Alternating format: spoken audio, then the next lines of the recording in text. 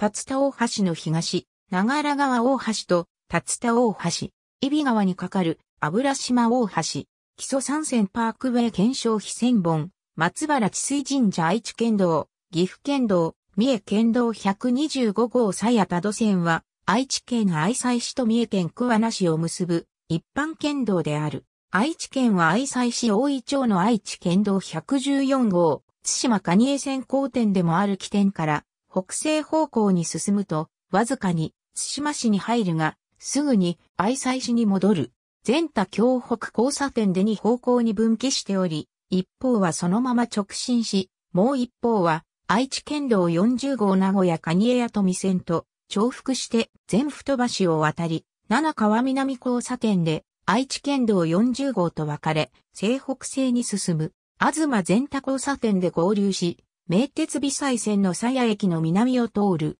竜田大橋で木曽川を、長良川大橋で長良川を渡り、岐阜県海津市に入る。海津市に入るとすぐに、岐阜県道、三重県道23号北方多度線と重複して、油島大橋を渡り、三重県桑名市に入る。岐阜県部分はわずか471メートルである。桑名下土町ゆずいのゆずい交差点が終点である。基礎山線を渡る山橋は、基礎山線パークウェイという愛称も付けられており、旧建設省と道の日実行委員会により制定された日本の道百選の一つに選定されている。明治時代に行われた治水工事である基礎山線分流工事が行われて以後、中京圏の発展による交通事情の複雑化が進む中で、木曽川、長良川、揖斐川の木曽三線及び、愛知県、岐阜県、三重県の三県を結ぶ木曽三河架橋計画が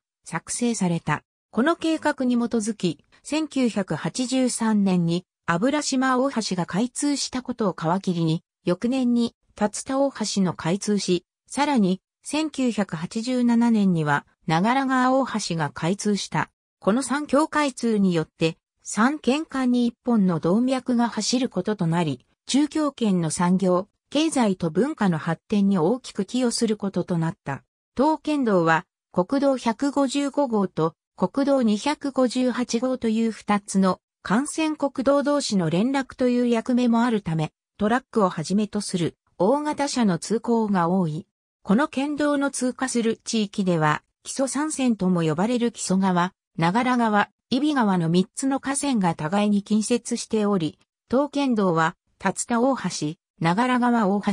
油島大橋という連続した三つの長大橋で、これら、基礎三線を渡る。長良川のたもとに、年間を通じて、各種イベントが催される国営基礎三河公園がある。道路沿線には、豊かな自然が広がり、中でも、基礎三線と相まって河川沿いの堤防に松が植えられた千本、松原や江戸時代の法暦治水工事で命を落とした平田幸恵と薩摩義士を祀る治水神社が鎮座し、水郷の景観を醸している。愛知県、岐阜県、三重県、都道府県道3カ所以上の都府県にわたる都道府県道も参照。ありがとうございます。